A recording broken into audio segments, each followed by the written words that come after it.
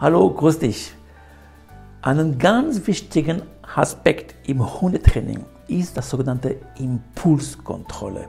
Was das ist und wie gehst du damit um, erkläre ich dir in diesem Film. Viel Spaß dabei! Zuerst nehme ich dieses Wort Impulskontrolle auseinander.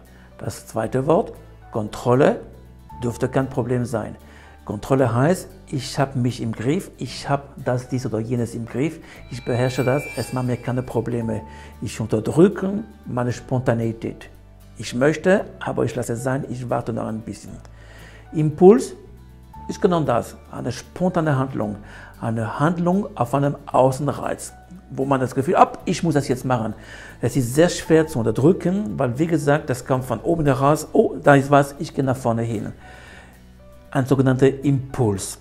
Impulskontrolle heißt, sich wirklich im Griff zu haben, sich zu beherrschen und auf bestimmtes Signal, auf die Erlaubnis für deinen Hund eine Handlung, eine Handlung auszuführen.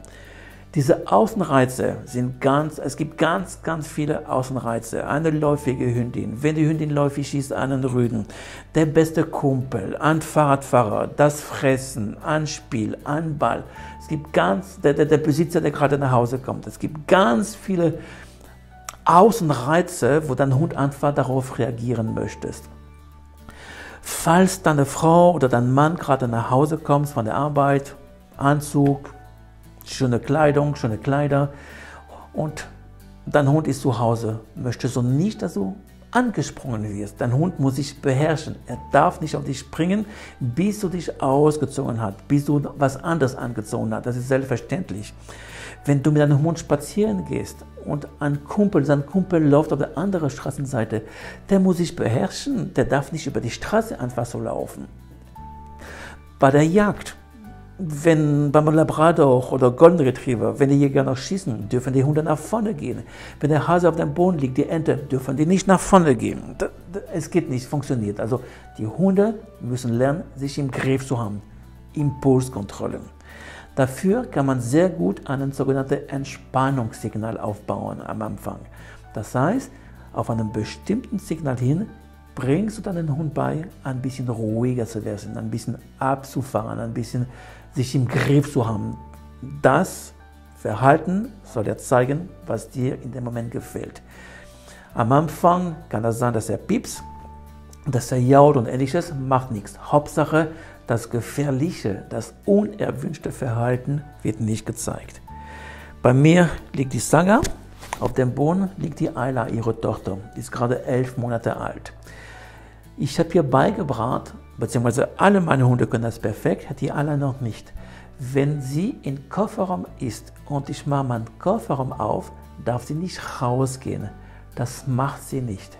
Aber sie hat sich noch nicht im Griff. Das heißt, sie bellt, sie jault, die klopft an ihre Box, die ist heftig. Ich kann trotzdem die Tür aufmachen, sie wird nicht rausgehen. Das heißt, der erste Schritt von meinem erwünschten Verhalten, du bleibst ruhig, du bleibst im Auto, du steigst nicht aus, bis ich es dir erlaube. Ist schon da, die geht nicht raus. Der zweite Schritt jetzt, wenn die Tür auf ist, werde ich ein bisschen warten, dass die ruhiger wird. Wenn die ruhiger ist, darf sie raus. Ich weiß, sie will aus dem Auto raus. Sie bekommt es nur, wenn sie ruhiger wird. Entspannung. Diese Entspannung erwarte ich. Um das beizubringen, Während sie runterfährt, kann ich sagen, alles gut, ruhig, bleib ruhig. Aber während sie runterfährt und dadurch baue ich ein bisschen Entspannung drin. Und das gilt für alles. Wenn du deinem Hund sein Futter gibst und er fährt hoch und springt, dann bekommt er überhaupt nichts. Und als Notfalls nimmst du dein Futter, legst du das irgendwo auf dem Tisch, so dass dein Hund nicht rankommt, ohne dein Einverständnis, und du entfernst dich. Erst wenn er ruhig ist, bekommt er das. Das heißt, der lernt sich in dieser Situation im Griff zu haben. Und das musst du mit aller Außenreise, wo dein Hund Impulse führt, die ihm ein Verhalten zeigen lässt, was dir überhaupt nicht gefällt. Jetzt war das ein schwieriger Gedanke.